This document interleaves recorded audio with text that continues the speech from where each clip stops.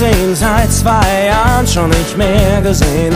Mein Elektroherd, der war sonst immer hinter den leeren Pizzaschachteln versteckt.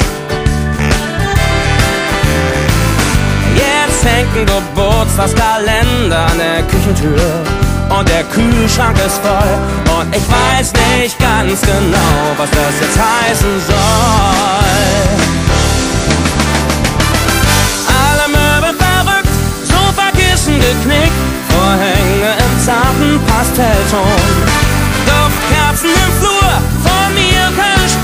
Hab das Gefühl, dass eine Frau bei mir wohnt.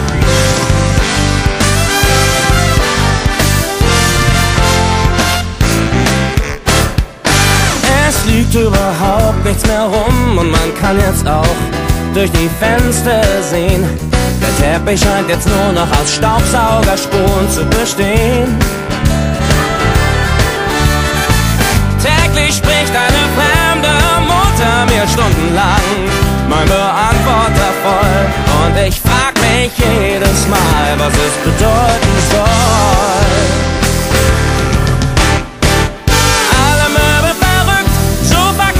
geknickt, Vorhänge im zarten Pastellton. Duftkerzen im Flur, von mir keine Spur, hab das Gefühl, dass eine Frau bei mir wohnt.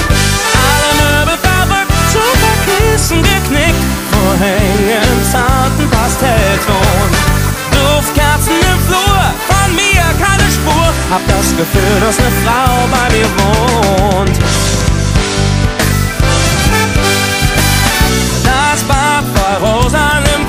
schon lauter Dekorobst steht sinnlos umher.